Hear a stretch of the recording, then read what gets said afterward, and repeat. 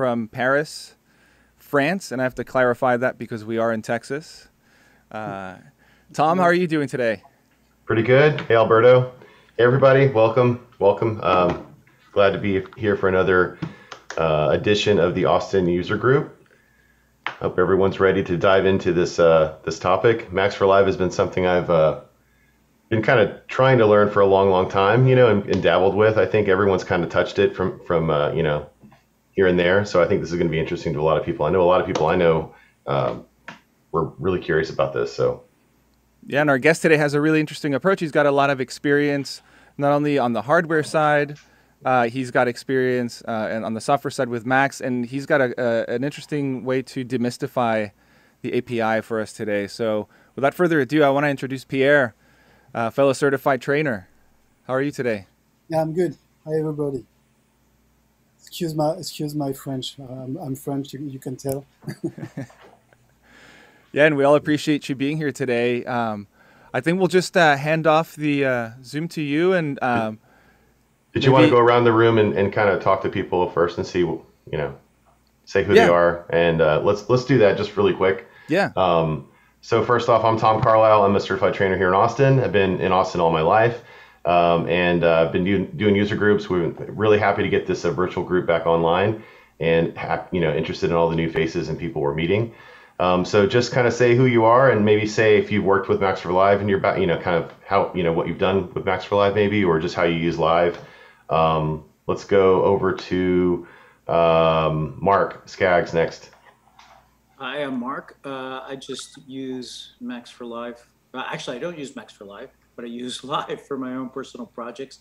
Um, I most of the time I spend my uh, days making uh, games. So this is my very super strong, expensive hobby.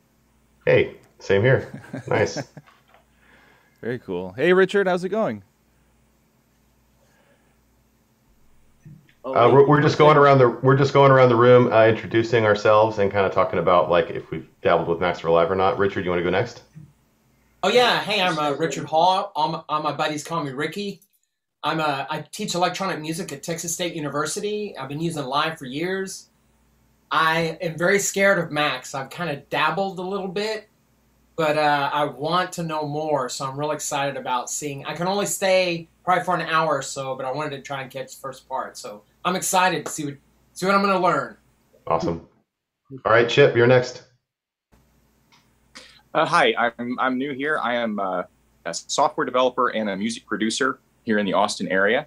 Uh, I do use um, Ableton, but I'm not really familiar with Live at all. Other than I know, you know, I have some instruments that are built on it, but I don't really know how it works. Cool. Carlos.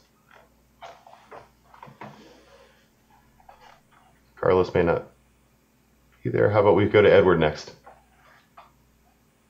Hey, uh, yeah, I've been using Ableton for a number of years.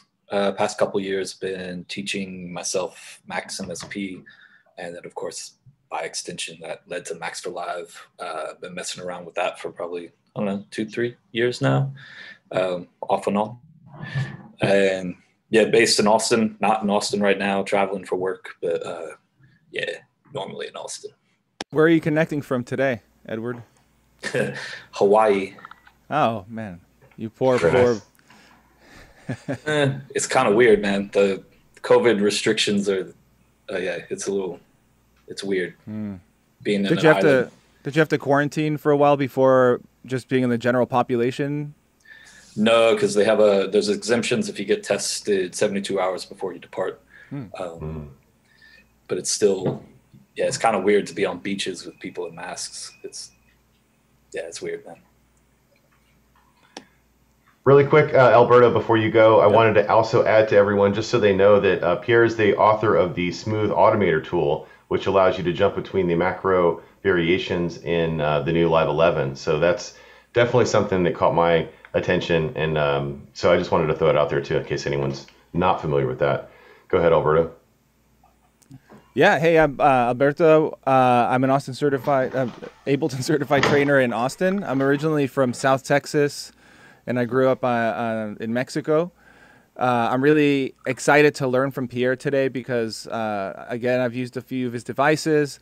Uh, like Tom, I've taken dives into Max for Live. I've built some devices following some instructions, but I really uh, always want to demystify and understand it better. Uh, so I want to uh, see how uh, Pierre's take on presenting on it from his level because he's definitely uh, mastered it, but I know that he can explain it at any level and, and, and break it down for even somebody without a lot of experience to understand it. Uh, I also see a, a, few new people coming in. Al, uh, we're just going around introducing ourselves and uh, sharing our Max experience or Max for Live experience.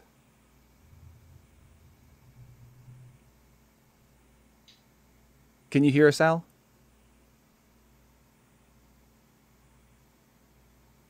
Looks like he's getting his audio set up. Okay, cool. Did we get everybody, Tom? I think so. Yeah. Yeah. Cool. All right. As always, y'all, if you have any questions, you can type them in the chat, and we'll uh, uh, pass them on to Pierre as, as, he's presenting, and we can talk about his topic after. Uh, so yeah, and uh, we have a participation motivation, right, Tom? Uh, yeah, I'm tracking. Uh, we have usually we do a wheel of names at some point during the uh, group, so I'm tracking down, I'm writing down everyone's name, and we'll do a drawing. So, um, you know, if you participate and, and ask questions and stuff like that, you'll get added to the, to the wheel. So, take it away, Pierre. Yeah. Uh, so, hello everybody. Uh, well, first, I'm French. I've, I do not practice English that much lately. Uh, especially since the, the, the COVID crisis. So I'm stuck in France, but uh, I hope you'll understand what I say. So uh, yeah, I've been a musician for some time. Uh, for I've been playing music for since I, I, was a kid. I released some stuff on the Ed li- label for those who know it. It's home of uh, Justice and uh, other art, French artists. And so that was like 15 years ago, and then uh, well, I've been using Ableton for since 2003, 2004, and um, I became certified certified trainer in uh, 2016, and since then I've mostly done uh, training and uh, designing devices and building hardware and doing some consulting for artists and like using my my own artist background and my knowledge of life to help other people. So that's what I've been doing a lot. And that, this way I came to, I, one, one thing I have to say as well is that I've done some studies, uh, studied engineering and a bit of software development and stuff before I became an artist. So maybe that explains why I'm interested in, in this this whole field, you know. And um, so, yeah, I don't know how it happened, but uh, when when I started using Live with my band, uh, we, we used the, the looper, you know, Live's looper. And one thing that was missing is the visual feedback, you know, that uh, I, we, I, I couldn't, I, I, wanted my guitar player to record his own loops and it, it wasn't looking at my screen. And I said, okay, that's, that, there's a problem there. You can't record your loops with the looper and blah blah. So um, that was like 10 years ago, and I said that must, we must do something about it. And then after I became certified, uh, I met another artist to my consulting uh, uh, activities, and she, she was playing on stage, doing some live looping with the looper, and having the same problem. You know, she was like playing in, front of uh, an audience of like 10,000 people, uh, the computer was on the stage of, on the side of the stage, and she was pressing a button like blindly, you know, and hoping that the the looper started recording. And I said, okay, I, we must do something about it. So uh, I used my own engineering background to create uh, a device. I don't know if I've got one actually. Uh, yeah, one. Oh, I'm sorry, I'm back. That's what the, my first hardware device. It's called State of the Loop and it's so it's a, a pedal loop, uh, a, a, pedal board, a MIDI pedal board that connects to live through a Max Max for Live device, and um, so that was how I, I, started using Max for Live. You know, I had this idea in, in mind. I knew it was possible to do it. I didn't know, know how long or how even how to do it, but Um, and that's my my that's uh, my point is that most of the time when you when you want to to to discover Max for Live, the best way to do it is to have a need for it.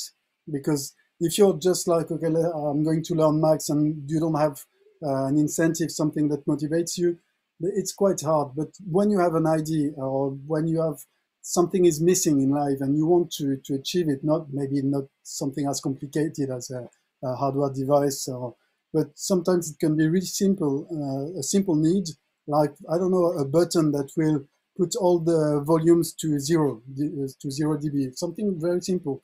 That's in, uh, with Ableton, without Max for Live, it's quite complicated to, to, to build a button like this. I don't know if it's even possible.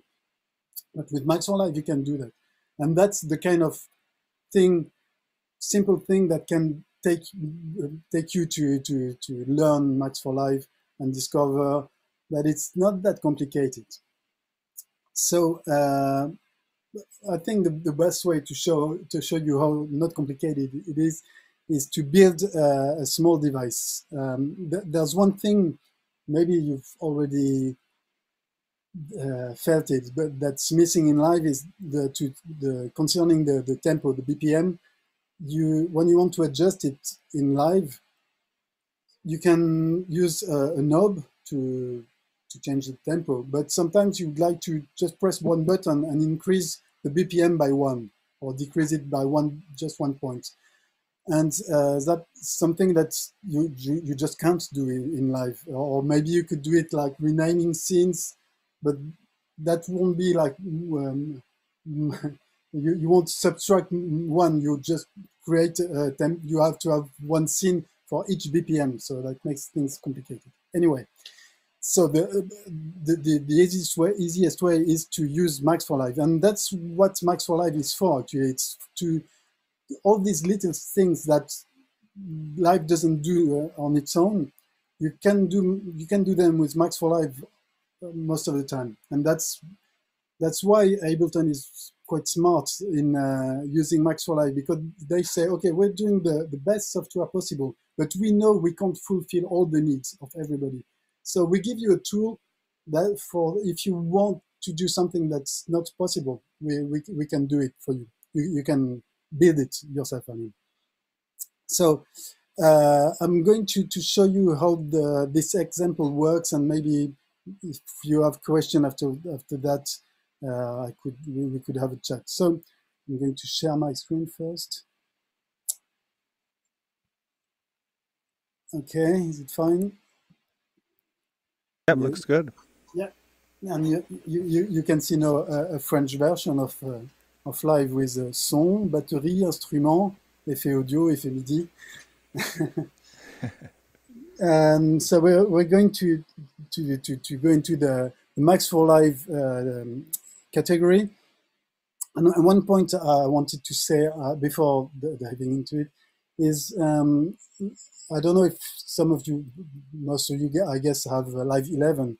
And one move that was uh, that I started in Max 11, in Live 11, I mean, is that some of the um, Max for Live devices have made their way into the audio effects folder. Like if you go to modulators, you've got LFO, shaper, envelope follower. All these are Max for Live devices. Before, uh, until Live 11, there, were uh, in, in the Max for Live folder, but now they've moved here. In the instruments, we have the drum synth that are uh, also Max for Live devices. And that's something that I believe we're going to see more and more in the future is Max for Live making its way into live uh, for real. And one thing that that um, make it makes it more um, concrete is that uh, you know that Ableton bought uh, Cycling 74 in I think it was just before Live 10. So actually, Max for Live is now really a part of Ableton. It's going to to be more and more linked. So I encourage you to to to to discover it, and that's what. Uh, no, I'm, I'm, I'm an evangelist of Max for Live. So I'm trying to spread the good word and make people use it. So um, to start, uh, you know, there are three categories in Max for Live. It's the audio effect, the instrument, the instrument, and the MIDI effect. Just like in live, you've got the instruments, the audio effects and the MIDI effects. There's, uh, well, the, the, the, differences between the three are the input and output. It's quite obvious, but I, I sometimes I like to say it's like the, the MIDI effects are uh, MIDI input, MIDI output. Instruments have MIDI input, audio output, and the audio effects have audio input, audio output. That's what makes them different. But uh, in Max for Live, the, we have these categories, but actually uh, you can use, you can turn um, an audio effect into an instrument by just adding a MIDI input into uh, a device. So I'm going to start with um, the default uh, max audio effect. I'm, I'm taking a, a, max audio effect because you can put it on any track. You can put it on a MIDI track or uh, an audio track. If, if I create uh, a MIDI effect, I can put it only on MIDI tracks. I, I won't be able to put it on the master or on, reverb, on, on return tracks. So uh, I'm, I'm, starting with a, a, max audio effect that I'm going to drag on the track. And what you're seeing here is uh, the default max audio effect, which has two boxes.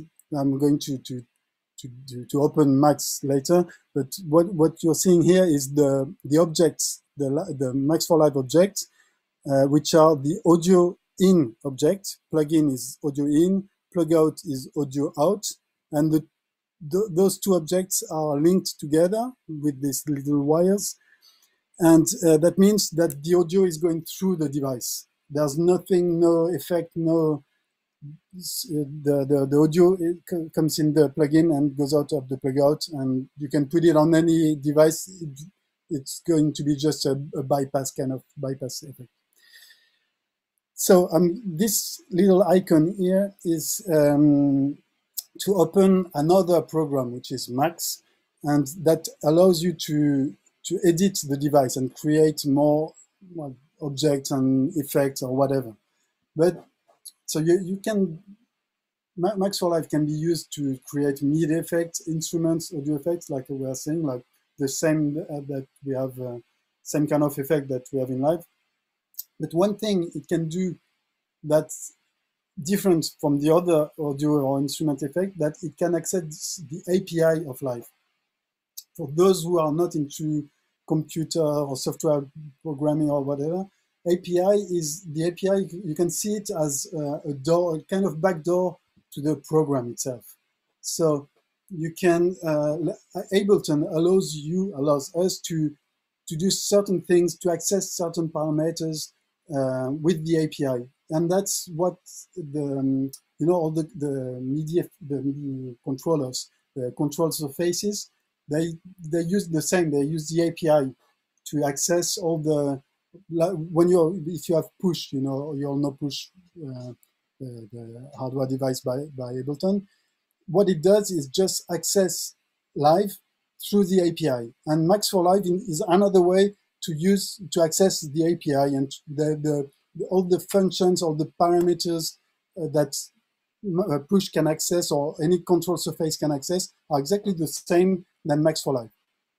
And the idea was is going to be to to access those parameters, try to to know the way to find the, the, the BPM, for example, or for the, the third scene, the, the, the, the second track of, of the of the set or the device that, that's on it. You know, like it's the, the the idea is to get the path to some part of the of the the software. And so that's what I'm going to, to show you with this simple example. So this path is accessed through the live with the live object model. It's called the LOM, and you know this. Um, I don't know if some of you have already seen this graph, but it explains all the structure of live, of the of a live set. I mean, so the the the, the top uh, part is the song, that's the live set, and a, a song contains tracks, scenes, cue points, that's the markers in the arrangement. And then a track contains devices. The mixer device is the volume, the, the mute button, all the, you know, this, this part of light, that's the mixer device. So each, each track has a mixer device. Um, then you have clip slots. Um, not, all, not all the tracks have clip slots. For example, the master track doesn't have clip slots, or the return tracks, they don't have clip slots. Clip slots, clip slots is somewhere where you can put a clip, and you don't necessarily have a clip on it. It can be just a, a clip slot with a, a stop button, or you can remove the stop button, then this clip slot doesn't have anything on it. It's just an empty, um, an empty slot. So um, I'm not going to, to, to, go through all the um, all the class that's called classes. You know, the all all those the parts of life of a live set. But that's the idea, and the idea will be to, for example, I want to to change the the filter of a device that is on the second track and the filter is the third device. So I can, I'm going to have to find a way to access the, the filter. So it's going to be a path that's going to be uh, second track, third device, parameter num number uh, four to, to, to, to get the filter. And then I will be able to change the, the filter value with, um, with Max for Live. Okay, so my example will be this time to um, to create, so I was, I was explaining, a device that will change the BPM by plus and minus one. So firstly, I'm going to open the, the device to be able to edit it. So that opens Max for Live.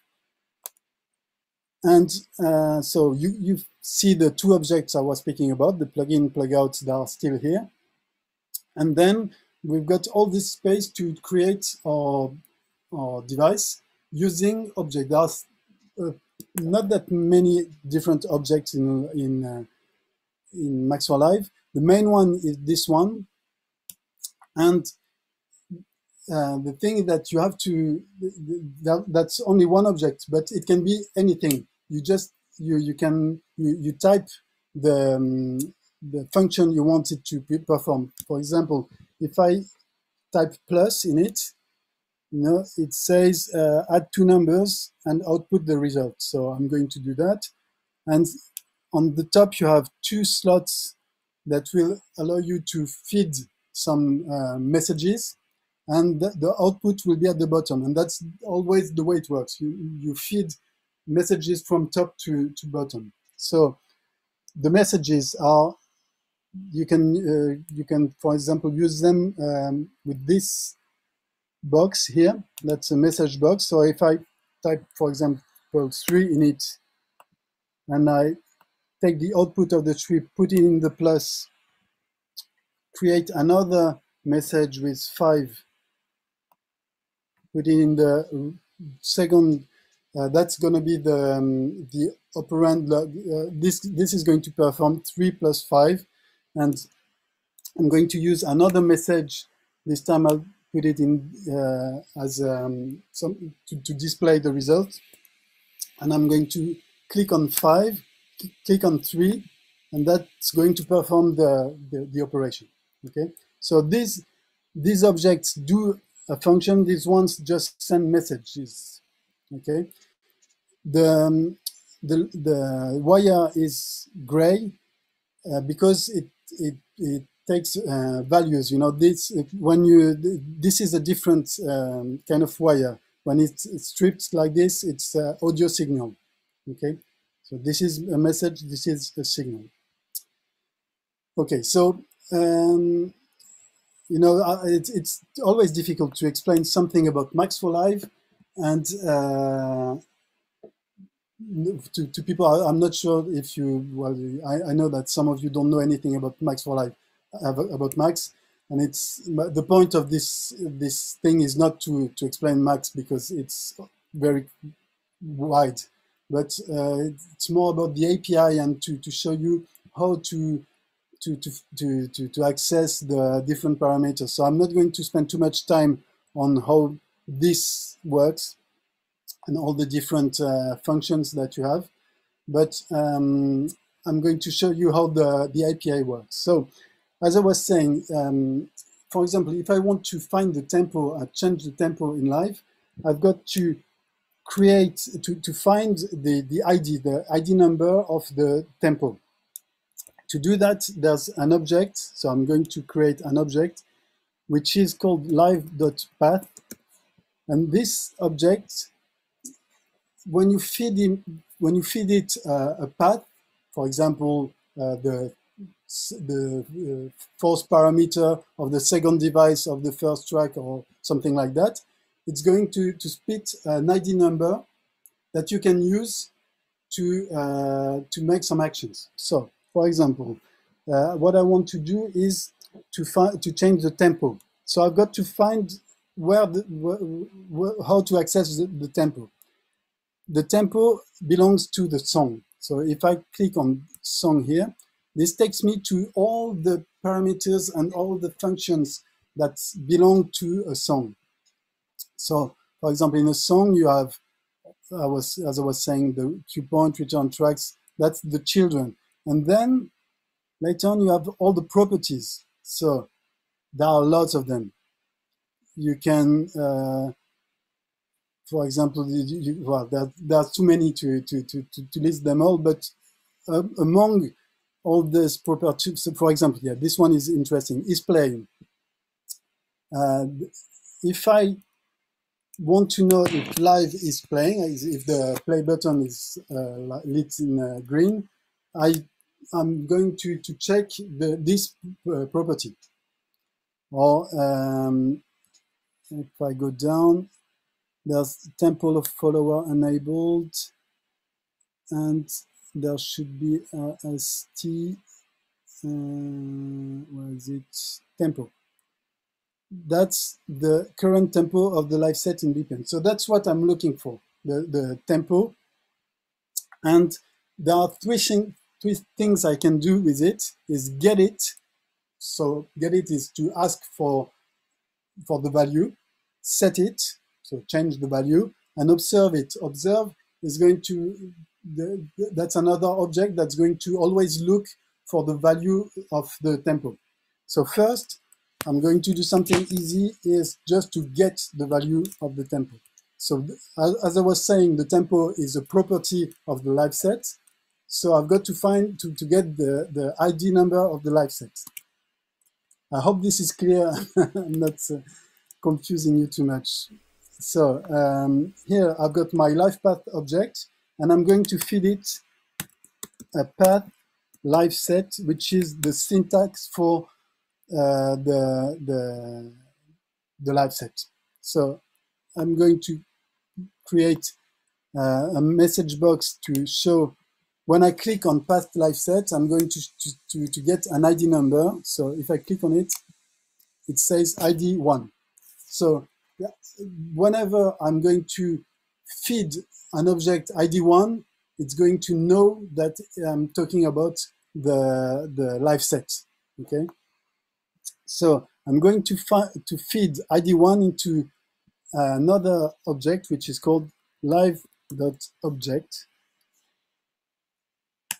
And this object is, can be anything in live, okay? It can be a parameter, it can be a button, it can be uh, the tempo, it can be a scene, it can be, it's something quite uh, abstract and it becomes something real as soon as you put, uh, you give it uh, an ID number. So I'm going to feed this live object the this ID one. So I'm going to click it and now the live dot object is um, the live set.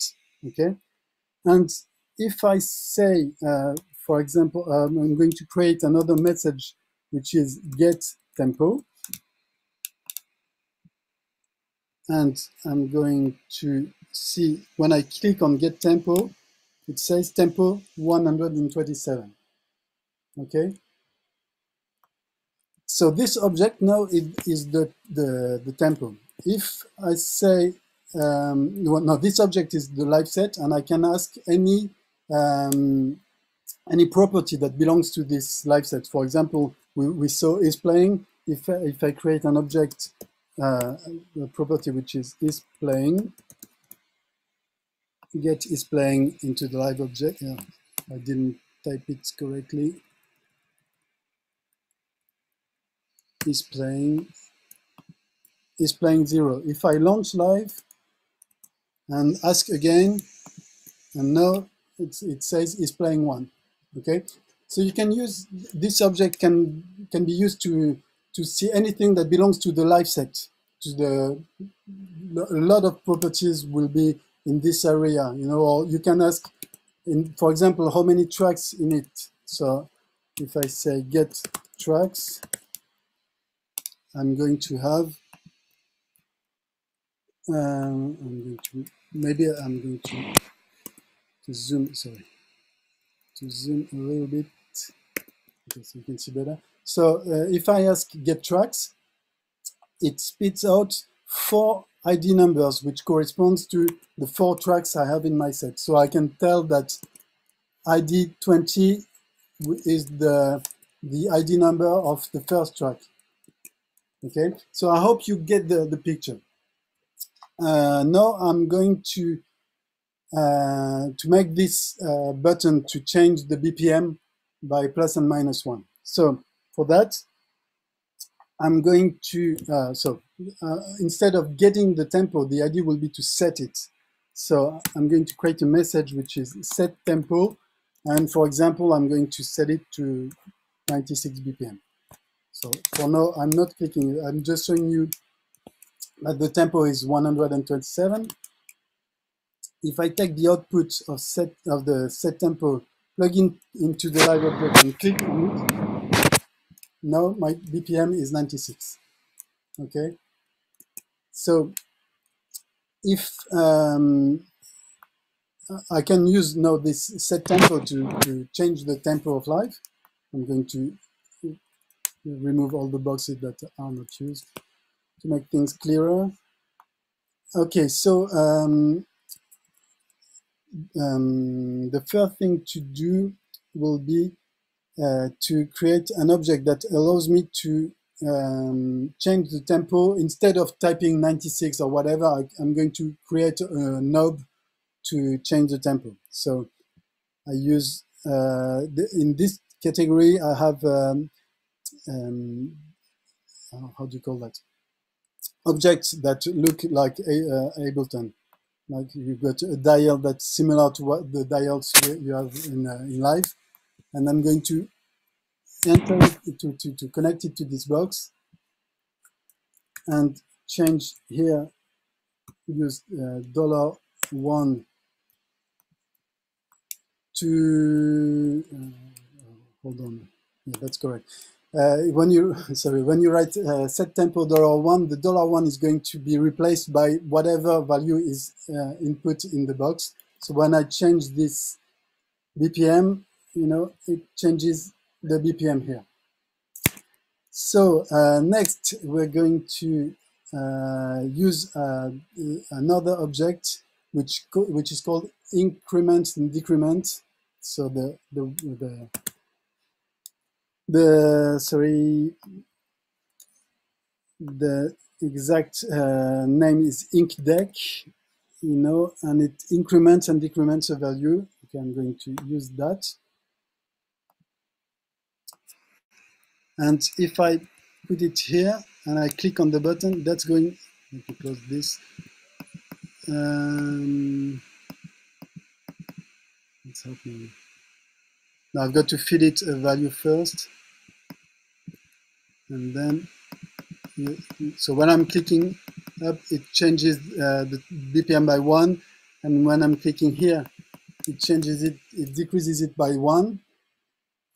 And um, instead of clicking on the device, which I can't do in, in live, I'm going to create a, a button which is called in the, I, I, feel like I'm going maybe too much in depth. No, is it, is it okay? Oh, we're doing good. I, uh, we're having some aha moments and, and understanding. Okay, cool. So I, am going to follow my, to, to, to, to, to finish my example. And no, it's all good, it, man. Yeah. It won't be too long now. So I'm, I'm going to create two, two messages, which will be inc and dec, that I'm going to feed into, that's specific to this incdec um, object. You know, like if you if you send it a message that's called inc, it increments the BPM. and DEC decrements it. And then um, I'm going to create two buttons that that this will be the buttons that will appear in live. Okay, all this is like under the hood, you know, like in the device. But then these two buttons, I want them to to be on the device itself. So I'm going to select them and add to presentation. The presentation is actually what you're say, what what you're seeing in the in Ableton in live. Um, so if I go to presentation mode, I can take those two buttons and I've got to find uh, where is my start point. Well, uh, okay, I'm, I'm, always confused with this this view, so I'm going to do a little trick without explaining it. Explaining it, uh, opening presentation, and um, go. Oh, so to, to switch from presentation to uh, patching mode is this button. And now I have my two buttons. This one, I'm going to put a comment which will be ink or plus, and another comment which will be minus. I hope it's this way. And then I've got, I'm going to save my device. I'm going to call it uh, tempo ink deck save and maybe you see in the background my device has changed. No uh, I can see it's it's great because I'm still editing it. But as soon as I will close it it's going to be I'm going to have these two buttons. And to have this device and the, those two buttons will be MIDI mappable or so I can use it in, with a, a, a MIDI controller. So uh, let me finish that first because that's um, one problem is that uh, I'm doing plus and minus, but I'm doing plus and minus to, uh, I don't even know what the, the current tempo is. When I'm launching live, I'm going to do, uh, I'm going to set the tempo, but I don't have uh, something to, to increment, you know? So I'm, uh, I need to observe the, the current tempo to be able to, to increment and decrement it. So that's going to be another uh, object, which is called live.observer. Now, if, if I go back to my uh, reference guide, I hope it's going to open on the, no, I don't have the, the BPM. So uh, you, you, remember on this page, I had three ways to access the parameter. It was get, set, and observe. Get and set, you do it with uh, live.object. Observe, it's got, it's got to be uh, one, one object per property. So this, uh, so I've got to observe the BPM. The BPM belongs to my live set, so it's going to be the, the it's going to be the same path the, uh, the one that corresponds to ID1. And uh, what I want to observe is the, the tempo. So I'm going to create, to, to tell the live observer, I'm, I want to observe the property, property tempo. I connect it to the live observer. I click on it to, to, to, to print it. And then I'm going to put a message box to see that when I'm changing the BPM in live, no, this changes automatically. As soon as I change the value, the, the, live observer is always looking at the tempo. So I can retrieve the, the tempo at any moment uh, and send, send it to, to my incdec to say uh, uh, if I want to increment or decrement the value, which value is going to be incremented is the, the tempo. Okay. I'm going to remove that of the unnecessary objects. Pierre, this live this live dial doesn't is, there's no use for it anymore. Yeah, sorry. A question: How would you access the decimal value? Uh, it, like if you wanted uh, to increment, no, no, I think it, if, increase if I, change it, if I change it here, it's it. I have the the decimal. The live observer is. Uh, so if you if you wanted to scroll by decimals, though, if you wanted to, would would that be accessible too? Uh, you mean uh, to, to, to, to make a plus minus dot one or something? Correct. Yeah, that will be well. That will be a bit. Uh, I can have the, the BPM with the decimal, and uh, then it would uh, there would be a bit of math behind it. You know, like increment one, but then divided by ten and adds the value to something like that. Interesting. Okay. That's Yeah. the kind of thing that uh, you have to think about in Max. Very cool. Um, okay, so actually uh, we're done now. We have this box that's going to send to send the the the, the, the life the, the path to this object, which is going to set the tempo. This one is going to observe the tempo and send it to my incdec object. And then we have the two buttons to, to change the, the tempo value. There's just one thing that's a bit tricky uh, that I need to do is as soon as I'm going to close the device, all the the, the path and the, the are, reset. Uh, sorry, uh, I didn't mention something about these two objects. Is that you, you, you see the the ID number is fed into the rightmost um, inlet of the of each box. That's the way you do it. Like, you know when you uh, when I put the mouse, it says live.object ID in. That's always the case with uh, live object and live observer. The ID number of the device is the rightmost, rightmost inlet. And the leftmost is for the properties, for the uh, uh, functions that you want to perform. Okay. So this live path is fed to this live object that that's used to set the tempo and is set to the live observer. But as soon as I close, uh, I was saying, as soon as I close the device, all these um, objects forget about the ID number. So I've got to use another object which is called live.thisDevice. Uh, sorry, I'm going to show you the, the little explanation. It sends a bang automatically when a Max device is loaded is loaded. That's what's important now. It means that uh, as soon as you load uh, the device or you save it or you close it, whatever, it's going to send a bang, which is like uh, in, in Max language, uh, a bang is uh, an event. Uh, so it's going to send an event to this object that's going to feed this object and this observer with the ID one.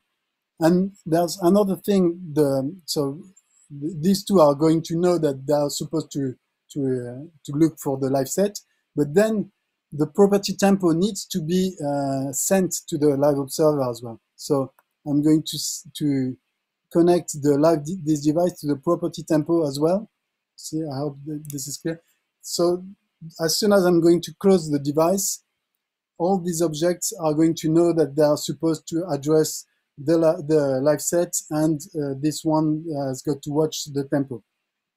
Okay, so I'm going to close the device, save it, and fingers crossed it will work. If I click on plus, you see the, temp the BPM is changing by one and minus is changing by one. And if I change manually the tempo, it still worked. Okay, so we are done with this example. I don't know if it, it, it's hard to find something that's uh, easy to understand and that makes sense. I hope I did it. I liked it. Yeah, I think that that took me further than I've really gone, to be honest. So um, I appreciate that. You put that uh, device back up on the screen, the editor mode Yep. that you had. So when I open it, it's in presentation mode. That's what that's what happens with most of the devices when you open them. It done in uh, presentation mode. So if you if you want to dive into it, you've got to click on this uh, button here, patching mode, and then you have all the all the boxes inside it. And something else uh, I wanted to to to, to mention is that um, you, Max for Live is uh, not uh, protected. I mean, there's no you can use any device by anyone, open it, and copy some parts of the the, the, the code. It's not code, but the of the device. So, so it's really open and um, and collaborative. I don't know. So. Sorry. So I have a, the question that I have is um, for the live observer, it gets the ID from the live path Yep. And the up and down arrow, the ink deck arrows, Yeah. that actually does the plus one Exactly. to the set to the tempo. Yep. Exactly. So the, the thing that you, the, the this double arrow, the incdec does the plus one and minus one, but you've got to add plus one or minus one to something that exists. You know, that's why I, I put this live observer to have a value to add one to, you know. Otherwise I do I would be adding one to I don't know what. Got it. Okay. You see my point. But they, it Yeah, sends the- that to the property temp, the tempo, property tempo. pro- property tempo, what it does is tell the observer to to observe the property which is which is called tempo. You know that's Okay. you, Okay. you, you, you get it. Yeah, I keep If I- getting if- confused if- that it's look- flow look- control. Look, instead of property tempo, I'm going to, to create another box, and I was giving you the, the I was telling you about is playing. I'm going to change tempo to is playing. Okay, and then uh, I'm going to put this box to to see what's happening, and I'm going to fold change this so I can have so um, as soon as I'm going to stop, stop and stop live. Uh, sorry, I didn't. No, I'm going. Okay. So now the, the live observer is not observing the tempo anymore. It's, it's observing the is playing property. So if I start live, it says one. If I stop it, it says zero, one, zero. Okay. And if I click on property tempo, now it's back to observing the, the tempo. So you can a, a live observer can can only observe one thing. Okay. Yeah.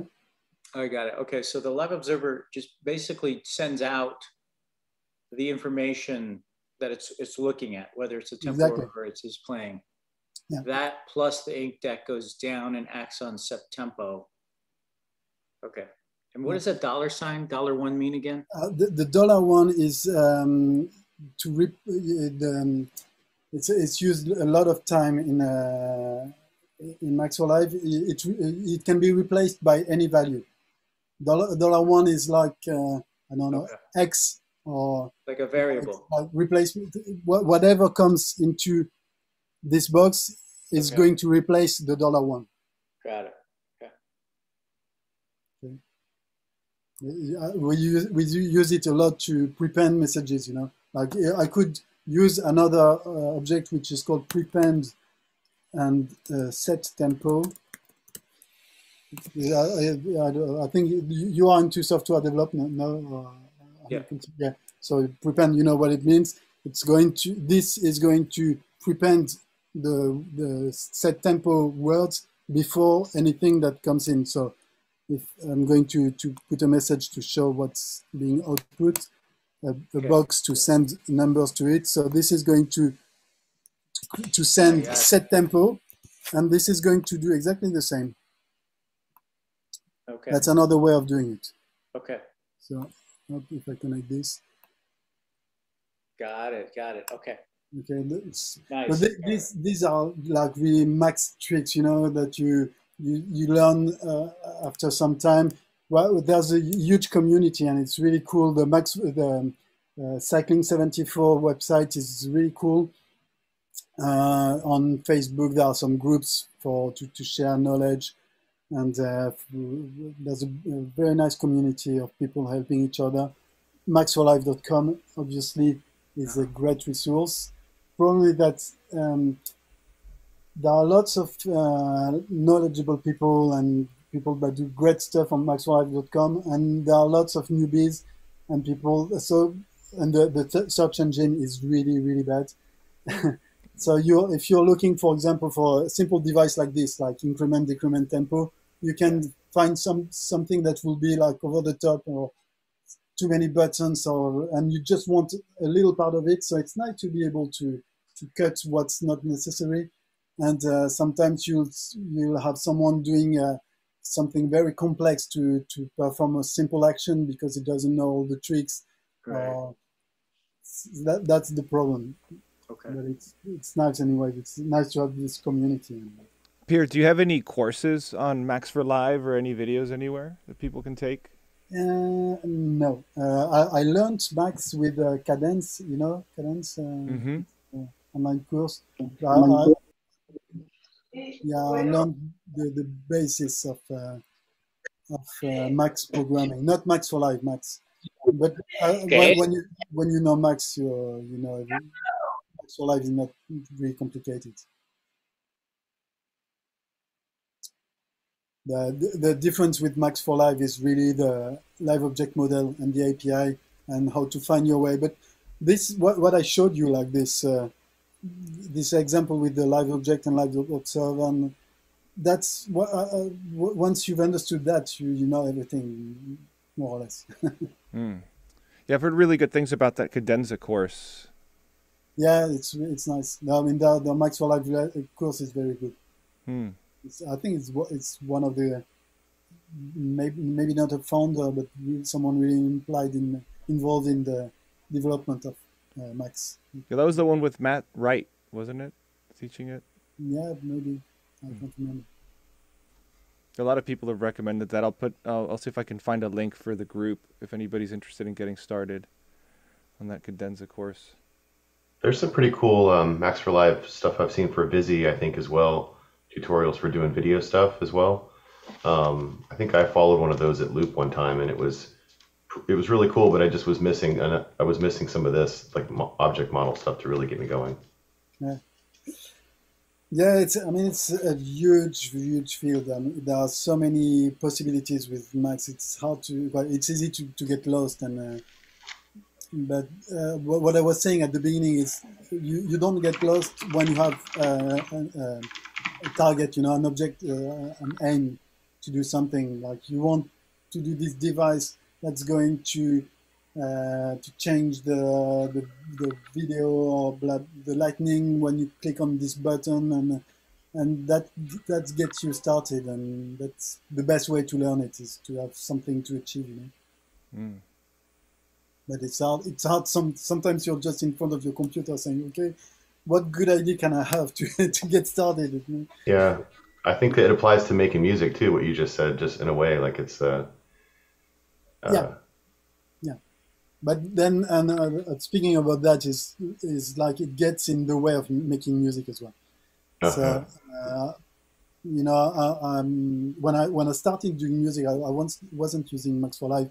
I was using uh, Reaktor. That, that was the early early days of Reaktor, and I loved connecting all the these little boxes and doing my own device and stuff. And after sometimes, I just realized that I was avoiding making music and just having fun doing some design, but that wasn't going to lead me very far in my career you know so i decided to forget about it and just use already made stuff until i finally found a way to to make it uh, to, to, to make this box connect these boxes in a professional uh, environment interesting.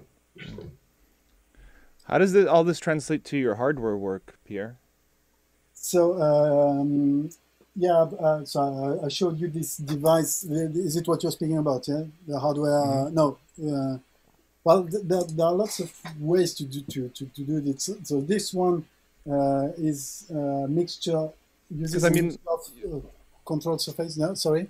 Yeah, with with KB Live Solutions, I'm noticing there's a lot of like the remote display, multi-foot switch, and state yeah of the loop. um, yeah i did but this french artist who was well this um, foot switch that i was showing has um, made me kind of famous in the looper uh, scene you know and uh, there was there's this french artist who uses uh, was alone on, on stage uh, do, using eight loopers for the piano vocals blah blah and uh, he wanted to He was same problem. He was on, on stage without a computer and he wanted to have some visual feedback. So I created this Max for Live device that's just um, a visual feedback of the looper, you know.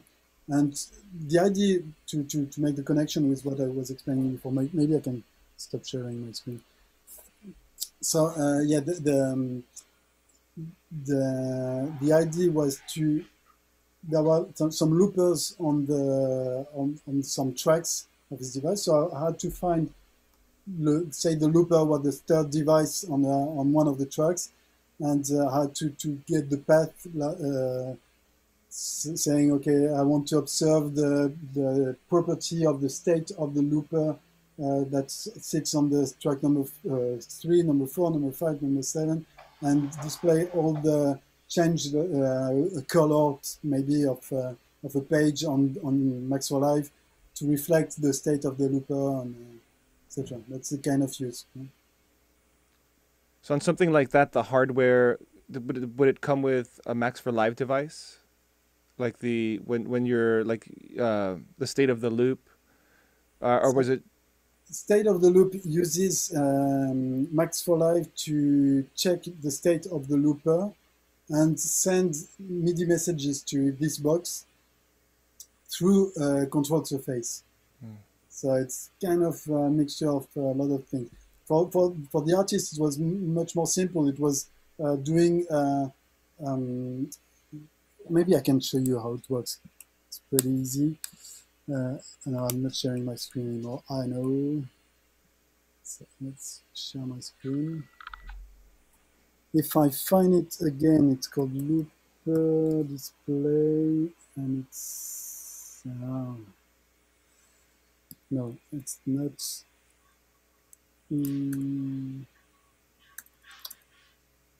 Weird. I see. You made it a larger display so they could see it from further away, I guess, on your laptop. Uh, yeah, exactly. Well, yeah, I did that too. um, uh, most of my requests by artists are people who are far away from the computer, you know, and mm-hmm. they need to have some visual feedback one way or, or the other. So uh, because well, mo most of the acts now don't uh, want to have the computer on stage. It's on the side of the stage, and they want to to, to perform whatever, but not have a computer on stage. So it's a, it's a big issue. you Um, okay, let me find this device. It's actually on the somewhere on the internet. Uh, the display. I did so many uh, variations of the um, this is display, Looper display. Um, I found it on the um, yeah KB's Live Solutions. Yeah, yeah, exactly. So maybe I'm going to to go to to the web to to, to get it. Okay, oh. Ah, here it is. So it's, uh, I'm going to put a looper next to it. So uh, I'm getting delay and loop. I'm still not used to these uh, categories. I know I ended up removing my categories. I, I just realized my brain was used to thinking in alphabetical order. Yeah. Okay, so um, this is telling me this this device is always watching the looper that's just before it. So if I start recording, you know, the it changes the display. That's pretty basic, you know. That's a, um, a meter, an input meter. If I mute the track, get it gets grayed. Uh, if I clear the uh, clear, say there's no sample. So uh, yeah, it's pretty. I wouldn't say basic, but it's the. I mean, the device is not basic. If if I open it, it's quite complicated. But uh, but the need the need is basic. Like to have to have a a, a floating window. Uh, did, did, you see it? Yeah, uh, yeah. There's some. Uh, okay. Yeah, we can see it, and okay. that's a good philosophy in live in general for music making and Max for and Max also just starting with a purpose, right? So they can have. Uh... Yeah, exactly. exactly, and, and that, that's the same as anything. Actually, you've got to start small, and your your knowledge will grow. A little, a little trick, if you're for anyone that's interested into into building devices like that, is um, when you when you open a device and you have an idea, a rough idea for what you want to, to perform. There's uh, the, the the help, um, the reference guide that I was uh, um, using is very very well done. So you can just type whatever, like uh, increment value, and you'll have examples, and uh, you have objects and whatever to to help you. And if you find something that's similar to what you want to do, but not exactly, you have this uh, reference here on the, the right hand side, and it says see also, and you have um, objects that are similar to what you want to do, but different. And uh, that really helps to, to, to broaden your knowledge of the objects available because there's a huge list if you want to, if you, you start to, to, to look at the, uh, the, all the objects that, that are available in, in, in Max, it's like endless, you know. So it's it's impossible to know all of them. But when you when you have roughly an idea for of what you want to do, then you you, you can find your way. And another trick is to uh, uh, alt click on a, on an object and it op opens the help. And so I did it on this, for example, prepend, and then you have uh, examples and you have also the seal. So it's really well done. And I mean, it's when you have an idea of doing something, then you can find your way pretty easily to, to, to, to achieve it. If the idea is not too complicated. That's really cool. I also, you know, there's a, a great community as, as much as there is an Ableton Live community. I know Max for Live has a very, very deep community. Other than the, the Max for Live website, um, do you recommend any community based places or any Discord groups that you know of, Pierre? I know that the, the, the Facebook group uh, Max for Live uh, around Max for Live, I don't know its name. Uh, it's, it's really nice, and uh, as soon as you have a problem, there's someone to help you out. And uh, it's it's nice because when it's uh, when people are starting, there's the, the, the answers are most of the time pretty obvious, and there's always someone that will answer you in like two minutes, like look at this object and uh, if there's something more complicated, then everybody is like uh, challenged, you know, and they want to, to, to, find out the best solution. Uh, so it's it's really cool. And there's uh, there's another really cool trick to, to share uh, in, in Max for Live is that you can copy some. So if, for example, if I select all my objects, copy them, and then I can, uh, now that the other, the, yeah, copy compressed is going to create some kind of code, like a few lines that you can just paste on a website or on a, on, a, on Facebook or whatever. And then when you have um, when you're on Facebook and you copy this code and you say new from new from clipboard with the code copied, that's going to create all these objects back.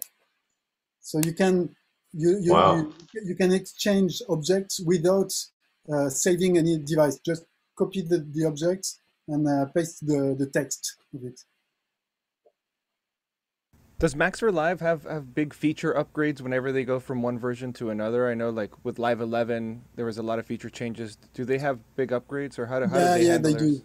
Lots of them are for um, uh, ease of use and uh, um, patching patching quickly uh, quicker you know like if you want to sometimes you have to to connect say you're building a matrix for all the clips of your live set and you have 16 tracks uh, 32 scenes whatever and you have to connect all the cables one by one the, the they they make it easier you know this kind of uh, user features plus some uh, lately they, they introduced uh, mute, multi-channel audio which was a really big thing. Like in one cable, you can feed, I don't know, 1,000 audio streams in just one cable. And that's really close to, to the audio world. I mean, it's really, ima imagine that in one cable, you can really, in one physical cable, you can really put uh, 1,000 audio um, audio streams, you know, doing it in in a software is as huge as doing it in in the real life, you know. Uh, Alberto, we met at uh, at Loop LA, the the Ableton event, and there was a demo about it, which was incredible. Like there was shaping the, the sound env- environment. It's, it's really hard to describe because it's something we were not used to to handle.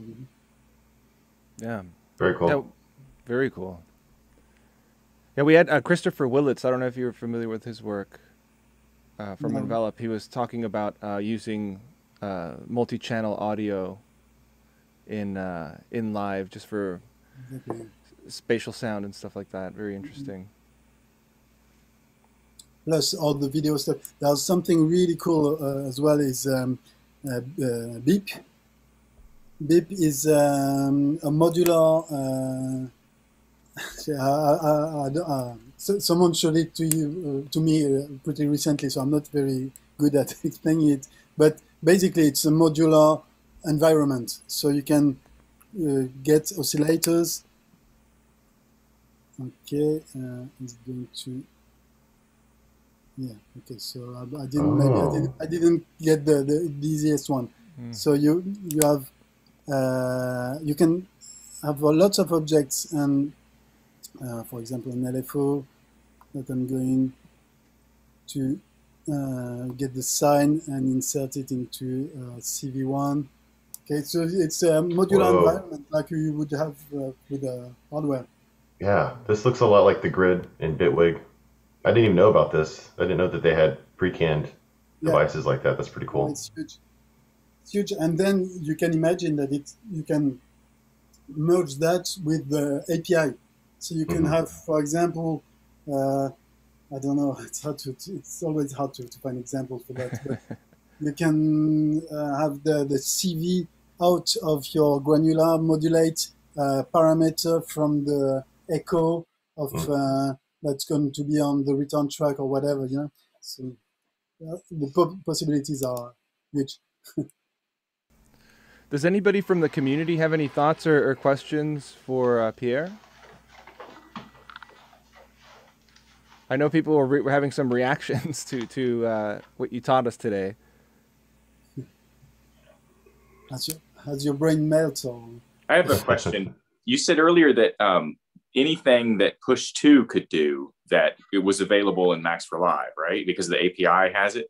So Mhm. like Push 2 can do things like set warp markers and manipulate them, all kinds of stuff like that. You can do that in in Max for Live too. Um, uh, so I don't believe you can change warp markers with push. Uh, I don't think so. Oh. Um, but uh, lately in, in Live 11, that was some of the improvements for, for the API in, in Live 11 that you can access the warp markers. You can't change them, but you can see where they are, which is a big step to being actually able to change them. So um, I think that's going to to make its way into the, the API, the warp markers. I see. So it's like cutting edge stuff right now, right on the edge of, of what Yeah, they're releasing in the exactly. API. Okay, thanks.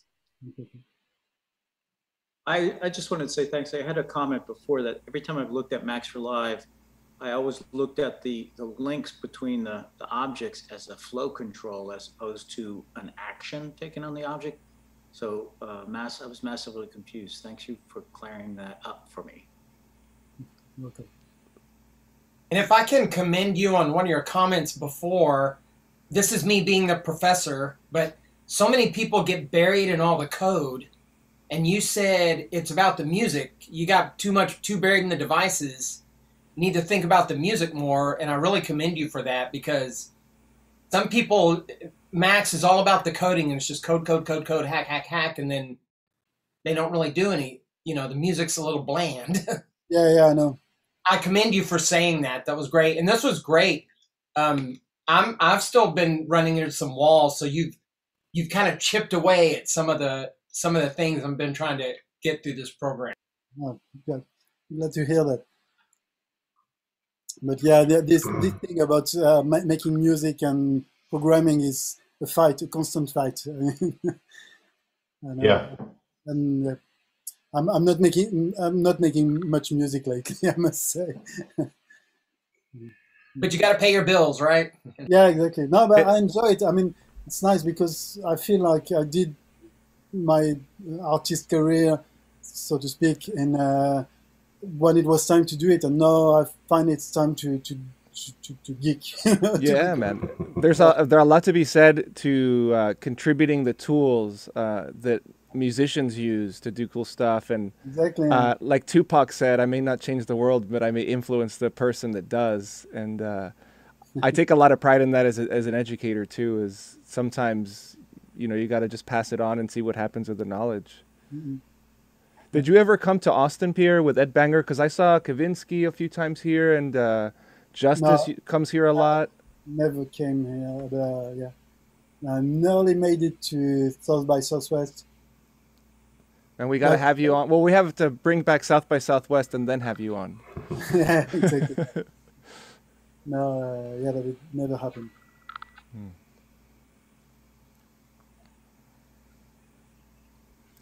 Well, we want to thank you, Pierre. I think you've been very generous with your time, and I think that's exhausted all of our questions. And, and you've been stuck around to like pick, let us pick your brain, and uh, it's been a very, uh, very good insight into. I think everybody's already said it. The way you presented it, right? Because everybody's seen different Max for Live presentations, but you made it approachable, you made it practical, and that was easy to follow. Cool. Yeah, I had one qu- one quick question. Oh, sorry. Go ahead. No, I mean, it's a tough subject, and it's it's really hard to to make it uh, like interesting, keep it interesting. I hope I did, but No, yeah. I had one last question about Smooth Automator um, and about how you were able to develop that so quickly. It seemed like right as Live 11 was announcing, you had a device right on the spot, ready to kind of flex the new features of it. So, uh, were you? Did you see that coming from looking at the API? And I guess you were just ahead of the game, or well, um, uh, um, I get the versions a bit earlier. I must say. I see. But, uh, but I see. I, I think that it's funny because uh, I'm surprised Ableton didn't include it. What I did with the device, everybody, the first, as soon as you start playing with the variations, you're like, okay, let's make some smooth. Uh, Yeah. and actually, the first one that came to my mind is to, to launch a clip, and that the clip was, was going to set the variations. Hmm. So uh, that was like obvious to me so the yeah I, I started working on it very very soon because that was missing and I, I knew it was going to, to be a request Nice. For those of you that are curious, I put the link for uh, Pierre's Max for Live page, uh, and you can download Smooth Automator there. It's, it's uh, yeah it's, it's on Gumroad as well and uh, yeah I encourage you to to, to, to Oh. It's a, it's nice addition I mean uh, it's, it makes variations much cooler I, I believe I hope so very much so. Yeah. Yeah, I'd be Yep. surprised if that didn't get included into live, or if they're not talking about that already somehow, or something like that. That's just it's so cool. But it, it, you know, you know what? uh, Speaking to be a bit technical about it, it's a lot, uh, what happens is that when you click on a variation to launch it, all the parameters go to a pos- to their position. You know, without the, the device, that's what happens. And uh, what I'm doing with the device is, for a very, very, very short time, I go to the next variation, then go back to the first one. So you, you see, because there's no way I can get the, the values of the next variations wi- without launching it. So if you, you use uh, Smooth Automator on, on, a, on a push, you can see the, the, the buttons go to the next uh, position, then go back to the first one very quickly.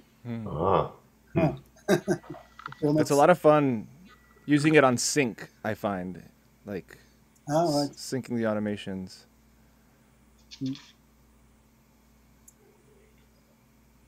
Okay. well, thank you, Pierre. That was really good. I'm I'm, I'm inspired. Thank you very much.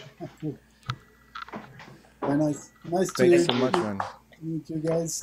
And uh, well, hopefully see you in, uh, in Austin sometime. Hopefully, very soon, man. Thank you so much, and we look forward to uh, your future ideas, and we would love to have you back sometime. Yeah, no problem. Yeah. Okay. Thanks, Okay. Pierre. Bye, everybody. If you all want to stick around, we're going to do just a quick. Uh, we're going to put everybody's names in the wheel of names. Or Tom's already got it set up, and Yep. we got some free T-shirts to give away. If that means anybody to any, anything to anybody. Let me add one more name t-shirts here. I dream of the user group where everybody's wearing their black or, or white uh, Ableton t-shirts. All right, let me drag this over and share it.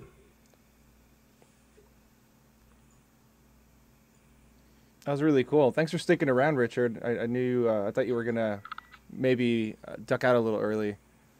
You guys can see that, right? Of course, I should be working on a project, but I, I couldn't stop. It was like I was really getting into it. I had live up. I was following them along.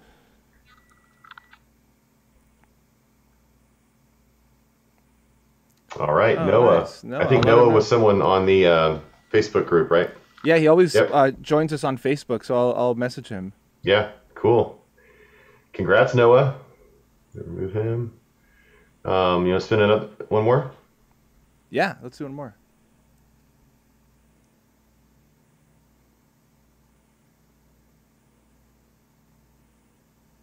Edward. Congrats.